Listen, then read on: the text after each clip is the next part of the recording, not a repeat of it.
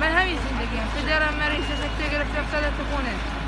مادرم مریض همین فقط من زندگی تو همین زندگی